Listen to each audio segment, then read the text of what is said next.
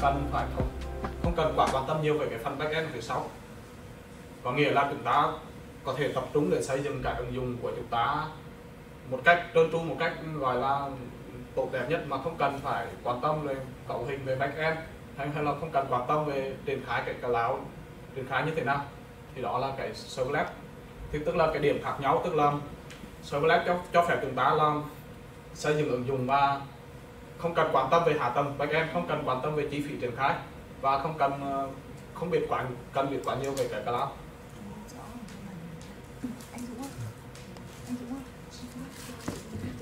Thì để ở đây vì sao mình lại nói về serverless? Bởi vì cái AWS Amplify này cái AWS, AWS Amplify này á, thì nó là cho phép chúng ta là xây dựng cái ứng dụng serverless full stack thì um, nó được giới thiệu vào năm 2017 và nó như là một cái uh, open source library và nó tức là cung cấp một cái giải pháp hoàn thiện để chúng ta có thể là xây dựng ship hay là hot cái full stack application trên cái trên cái dịch vụ Amazon. Thì ở đây như chúng ta có thể thấy được đó là nó có thể là dễ dàng có thể là create một cái backend hay là connect cái app của chúng ta sử dụng cái Amplify library hay là Amplify Studio và có thể là uh, quản lý cái user hay là content hay cũng có thể là extend sử dụng cái CLI, CLI command tức là cái uh, sử dụng cái CLI, Amplify CLI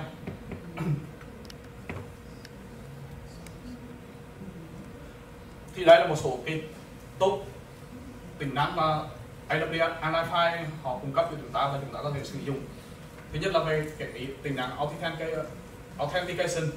Thì nó sử dụng cái dịch vụ là AWS Cognito của à, đấy thì nó có thể là building cái à, để create cái authentication. Tức là mình sử dụng cái authentication của Amazon Web Service rồi Analytics Graph API Graph à, PL API data store storage put notification cái PubSub thì um, nếu như mà ai đã làm việc với mobile rồi á thì mọi người sẽ từng làm việc với Facebook nhiều rồi đúng không? Thì cái analytics uh, Amazon cũng cung cấp chúng ta cũng có thể làm việc với cái cái Facebook analytics giống như cái Facebook analytics. Thì um, ở đây mình sẽ tập ở trong cái buổi ngày hôm nay mình sẽ tập trung ba cái top feature mà mình có thể demo cho các bạn đó là authentication GraphQL API và cái thằng uh, storage sử dụng Amazon S3 thì um, mình sẽ nói qua về cái overview architect các cái ứng dụng của mình thì um, từ cái um, cái app của chúng ta chúng ta sẽ có một cái thư viện AWS Amplify này. Và từ cái thư viện này chúng ta có thể làm việc trực tiếp với cái với cái F3 rồi về cái um, với cái AppSync. Và từ cái AppSync này thì nó sẽ làm việc với DynamoDB. Và chúng ta uh, authentication sử dụng cái thằng Polito này.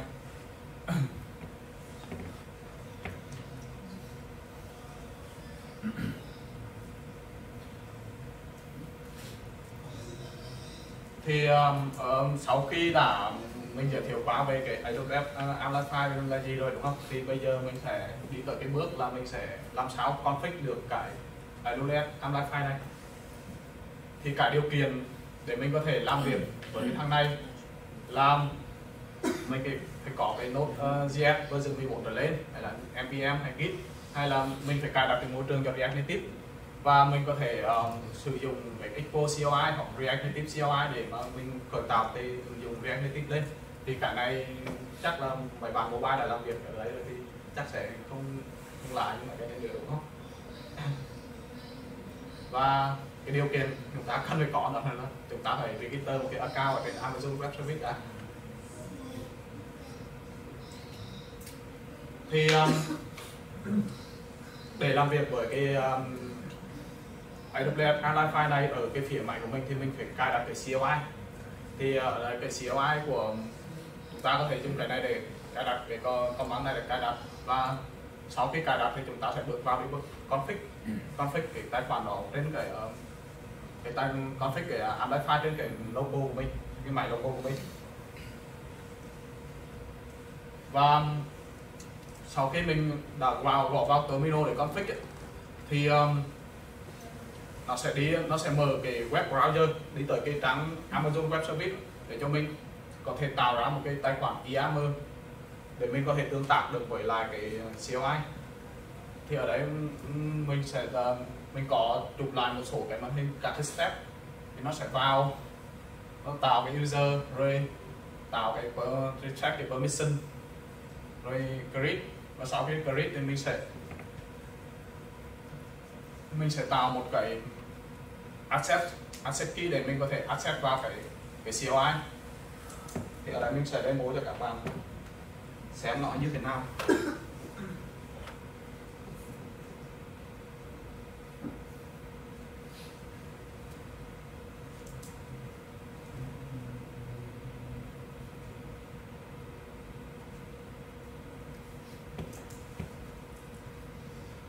Mình đã cài đặt sẵn cái AWS Alify ở cái CLI ở cái máy mình rồi thì bây giờ mình sẽ đi vào cái bước con config thôi.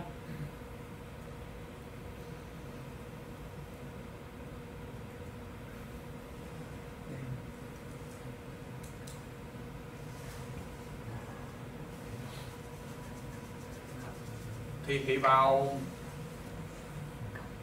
bởi vì cái mình có cái ờ, tài khoản Amazon Web Service rồi.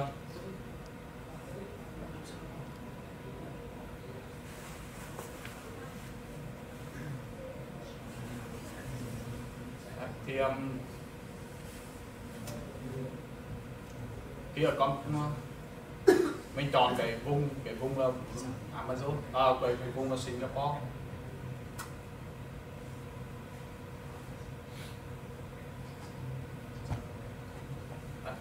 Thì giống như trên cái slide thì ở đấy um, nó sẽ có những cái step để mình có thể tạo một cái user. Thì ở đây mình đã có sẵn cái user mình tạo rồi nên mình uh, tạm thời sẽ bỏ qua cái bước này.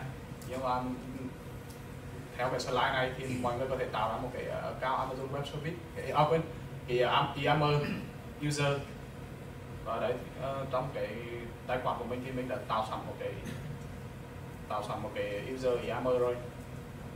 Và mình cũng tạo sẵn cái access key rồi đấy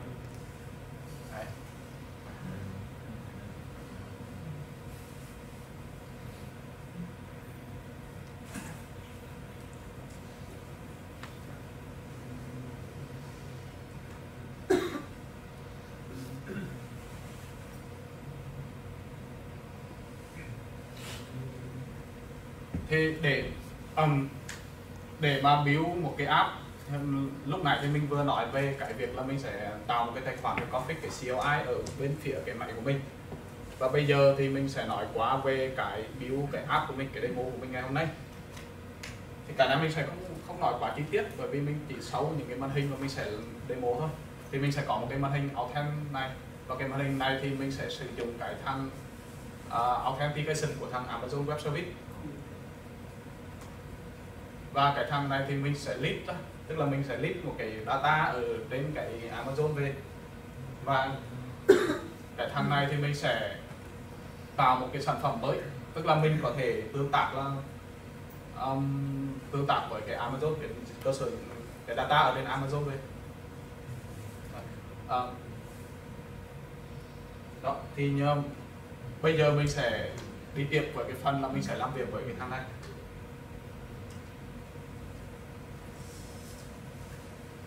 Thì để làm việc với cái thằng Amazon ờ, với thằng Amplify này thì mình phải init ở nó trong cái dự án của mình đã.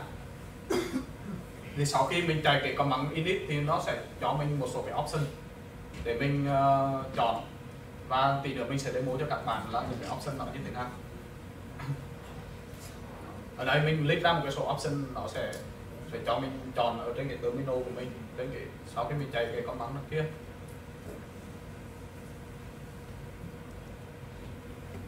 đây, mình sẽ demo cho các bạn cái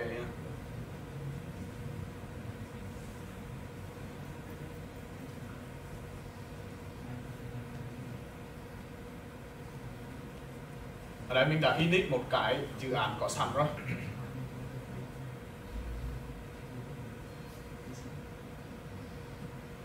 Ở đây mình đã có mình đã init một cái dự án React Native có sẵn rồi. Nó chưa có gì cả, và mình sẽ init cái ám này lên. Mọi người có thấy rõ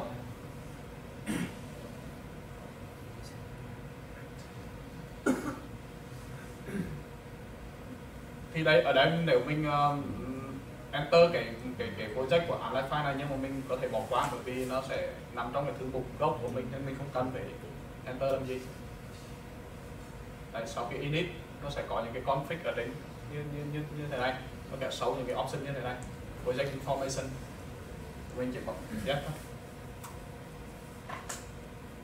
Đấy, thì nó sử dụng tại thằng nào? Asset key tức là lúc này các bạn để là mình có tạo một cái tài khoản Yammer và mình có asset key rồi đúng không? Thì bây giờ mình sẽ sử dụng ở đây mình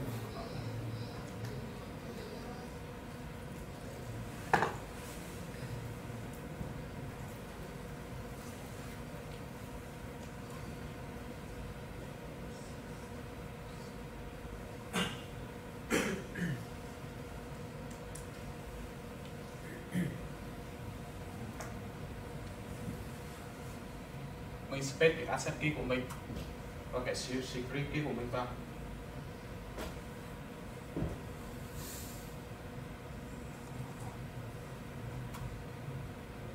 và cái sử dụng um, cái này mình đang chọn region là Singapore nhé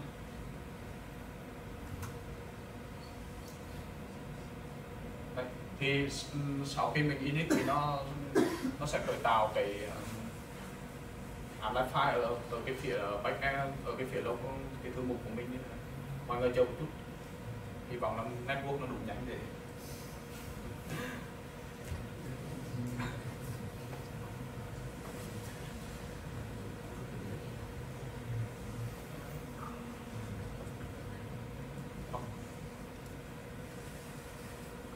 hoặc có thể mọi người sẽ nhìn thấy cái project của mình đã init sẵn ở đây.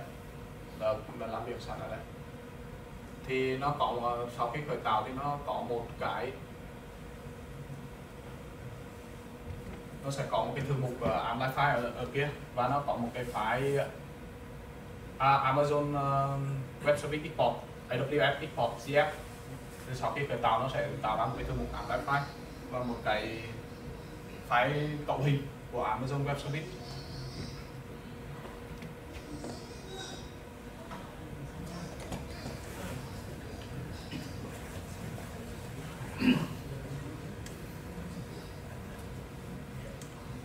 Thì bây giờ mình bây giờ mình sẽ uh, demo với các bạn là mình uh, sử dụng cái Amplify này để mình xây dựng một cái màn hình uh, authentication sử dụng cái component có sẵn của cái thằng Amazon ờ, uh, Amplify Amazon Web Service Amplify thì để để có thể mà làm việc với thằng này thì mình phải từ cái Amplify CLI mình chạy cái command này để thêm cái ờ, tính năng authentication vào cái app. Và sau đó từ cái app file của mình thì mình sẽ import cái hai other component with authenticator component này. Và mình bọc bọc bọc cái app của mình bởi cái thằng uh, other component này. Thì mình sẽ có cái màn hình này luôn. Thì nó nó sẽ tức là cái component nó build sẵn cho mình rồi. Thì mình có thể sử dụng cái cái này để mà làm cái tính năng login forward forward hay là tính năng login forward password hay là sign ở đây, đây này luôn.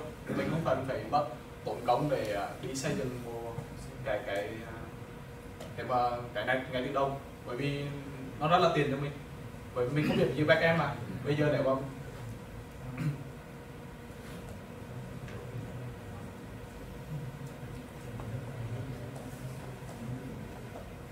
ở đây mình có một cái ứng dụng mà mình xây dựng sẵn rồi, thì để mình chạy lên cho các bạn thấy là nó như thế nào.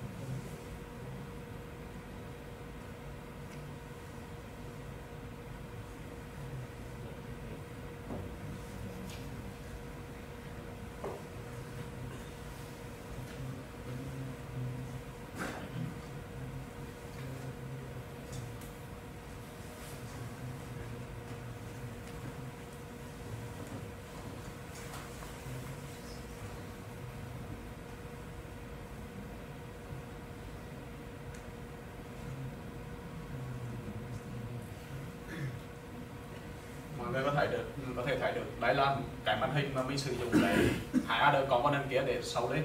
Thì mình không hoàn toàn không code và cũng không không làm gì nữa và mình có thể à, à, uh, login hay là sign up hay là mình có thể sử dụng tính năng forgot password thì ở đây mình có register một cái account thì mình, thì mình thử login vào nhé.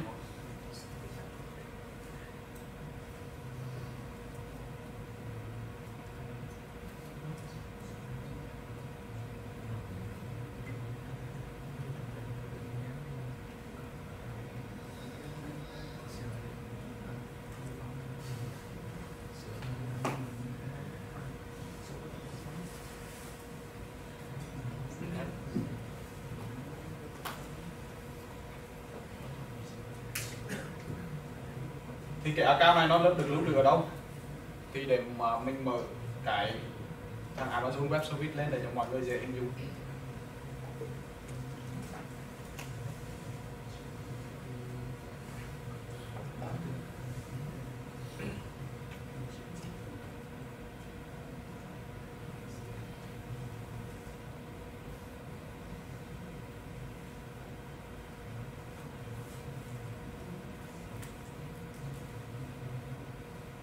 thì ở đây khi mà khởi tạo cái ứng dụng của chúng ta à, khi khởi tạo cái ứng dụng của chúng ta thì nó sẽ khởi tạo những cái project hay là những cái app ở trên những cái um, dịch vụ mà nó tích hợp. Thì ở đây nó cũng auto tích hợp cho nó cũng tạo cho chúng ta một app ở trên cái Corito này. Và vào đây thì mọi người có thể thấy là mình có register một cái account ở đây và mình có thể login được. Thì bây giờ mình mình có thể register một cái account mới hoặc có thể mọi người, mọi người sau khi về thử mọi người sử dụng register xem có được không? Thì sau khi register nó cũng sẽ có nó cũng sẽ gửi một cái email để xác thực cái email đó và mọi người có thể uh, và mọi người có thể um, làm việc với cái thằng này.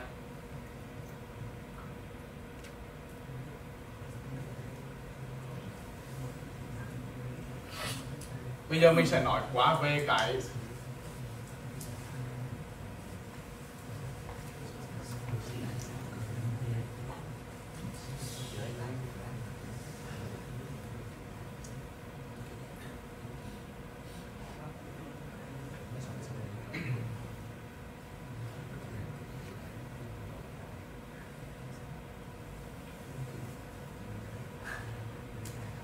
phân trình của chúng ta đó là như các bạn biết rằng là để làm việc với uh, backend thì cái cái đội cái đội dự án của chúng ta thường thường nó sẽ có một cái đội backend rồi một uh, đội web app một đội web hoặc là một đội mobile. Và đơn sau đó thì có thể là sẽ có những cái rốn khác chẳng hạn như là technical architect DevOps đấy. Thì ví dụ như bản thân mình là một cái dev mobile thì mình sẽ không chẳng hạn trong trong trường hợp mà mình sẽ không biết gì về cái API cả. Mình chỉ biết hình dung là mình không thể tự viết một cái API mình cũng không thể gọi là à, sử dụng một cái ngôn ngữ backend nào để viết API thì ở trong cái trường hợp này thì mình có thể sử dụng cái thằng GraphQL API và cái thằng AppSync này để mình làm việc với cái mobile app của mình. Thì GraphQL là gì? Thì ở đây ai đã làm việc với GraphQL chứ có ai làm việc với GraphQL chứ um, thì mình có thể nói sơ qua lại một chút thì cái để cho mọi những ai mà chưa biết thì GraphQL thì đối với Grab, Grab API đó, thì nó sẽ có nhiều endpoint. Và mỗi cái endpoint đó nó trả về một cái payload một cái data thì nó có thể thừa hoặc thiếu. Và điều một ví dụ chẳng hạn mình cần một sử dụng một cái tính năng đấy thì mình cần một cái endpoint. Và khi mình cần một endpoint thì mình sẽ phải cần một cái backend hoặc là cần một ờ, đội backend cung cấp thì mình một cái endpoint với cái data như thế nào thì cái GraphQL nó, nó cung cấp cho nó là một cái query logic và nó cung cấp cho nó chỉ là một cái endpoint. Và từ cái endpoint đó thì developer from end from end developer có thể là query theo cái lượng ờ, những cái những cái trường mà mình muốn từ cái endpoint đó. Thì GraphQL nó cũng sẽ có là nó cũng nó sẽ có là uh, queries mutation và cái subscription thì để làm việc với cái um, GraphQL API này thì um, ở cái dự án của mình từ cái CLI mình sẽ chạy cái con bằng là ApplyFi API để mình uh, thêm cái API trong cái dự án của mình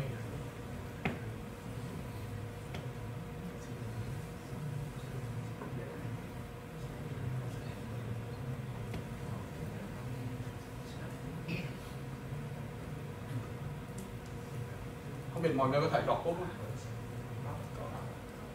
Ở đây thì nhìn đó. Nhìn lúc nãy rồi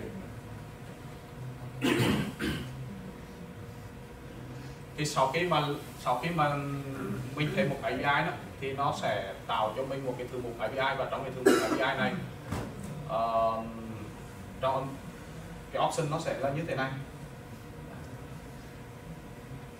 À đây rồi nó deploy uh, xong rồi. Thì mình sẽ sâu demo ở đây uh,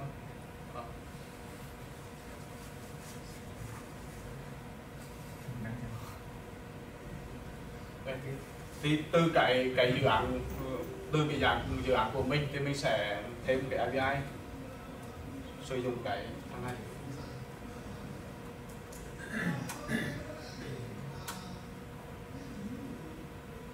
Để mình chọn cái option là GraphQL nhé.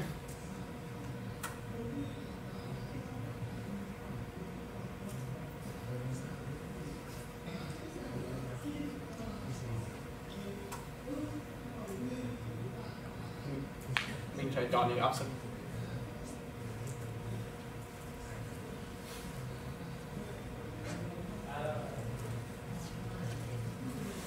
sau khi mà mình thêm cái ai thì mình muốn synchronize cái à, logo của mình với cái Amazon Web Service mình có thể chạy cái lần này để mình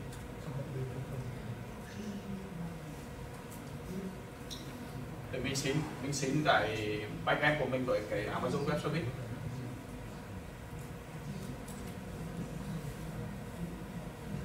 Và sau khi mình đã thêm API rồi đó thì mình sẽ update cái schema của mình ở bên phía backend của mình và sau đó mình cùng thay đổi cái phần ờ, ờ, uh, chén của mình lên cái ừ, cái Amazon Web Service thì sử cũng sử dụng cái command này. Và cái cái file schema của mình thì mình có thể thay đổi ở đây. À, cái này do mình chưa thêm. Ừ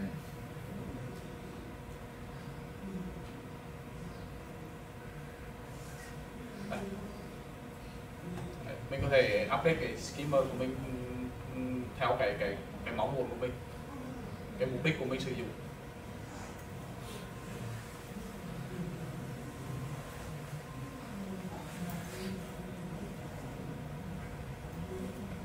Thì bây giờ mình sẽ demo cho các bạn là làm sao để mình thêm cái mình tạo mới một cái sản phẩm sử dụng cái thằng uh, uh, sử dụng cái thằng GraphQL này. Thì cũng như ừ, để làm việc được với cái um, để làm việc được với GraphQL này thì mình uh, ở cái dự án của mình mình cũng thêm cái dependency này vào trong cái app của mình. Nó là một cái thư viện uh, JavaScript. Nó sắp để hỗ trợ cho mình uh, uh, để mình uh, sử dụng một số cái function một số cái um, uh, helper từ cái ừ, cái uh, AWS Alify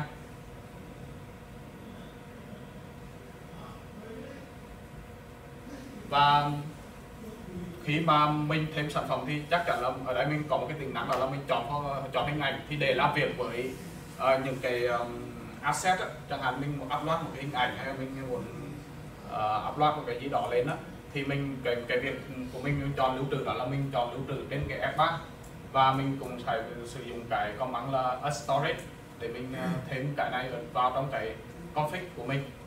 Và sau đó mình cũng phải đồng bộ với cái backend cái app của mình với cái backend ở trên Amazon thì mình, mình cũng phải phải chạy cái apply file này.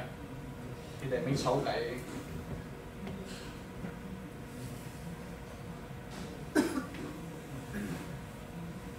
đây cái app của mình ở đây à, sorry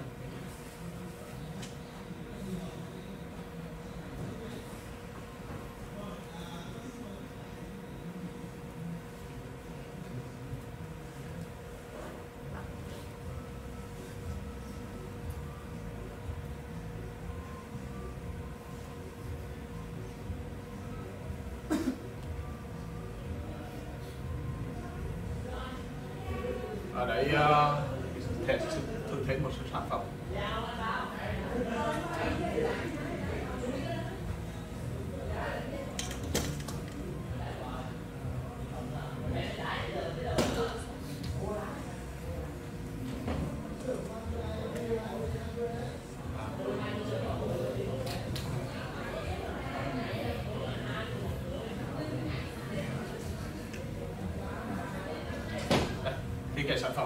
trên nó đã thêm ở trên cái ờ, Amazon Web Service. Sẽ chỉ cho các bạn cái mới mà cái sản phẩm này tên thì ở đây um,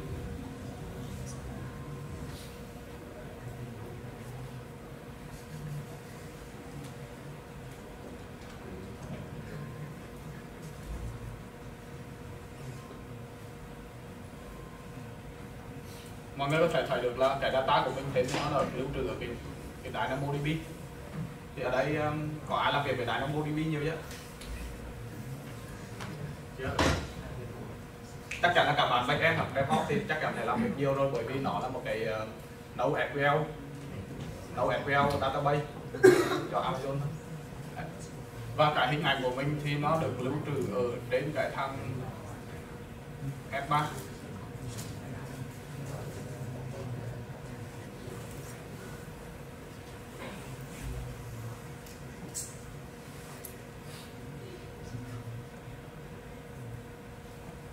thì vừa lúc này mình mới thêm một cái hình mới. Thì nó là đấy là chỉ là cái hình mình vừa thêm thì nó là lưu trữ.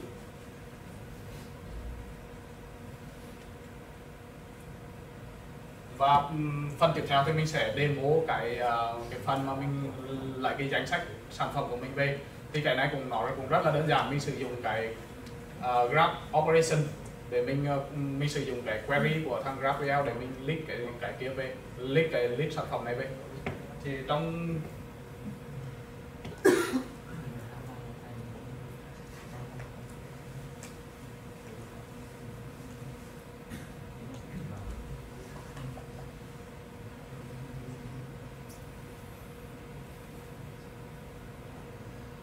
à, ở trong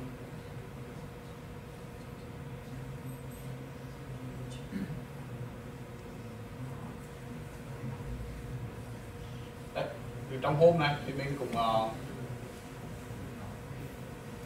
import cái list product từ cái thằng query mà ừ, cái app file nó generate sẵn trong cộng sẵn cho mình và mình sử dụng cái cái API từ cái phần server cái API từ cái AWS app file này. Và mình chỉ có việc là mình phép cái uh, dùng cái GraphQL để mình query cái list product về thôi. Đơn giản là vậy. Demo này cũng khá là rất là đơn giản. Thì cái phần hôm nay của mình à, để múa vâng, mà cũng à, để đây là kết thúc. Để à, mọi người để, để hình dung là làm sao mình có thể làm việc với cái AWS File này sử dụng cái um, File CLI rồi uh, File Library ở bên phía app của mình thì bây giờ không biết mọi người có cái câu hỏi gì.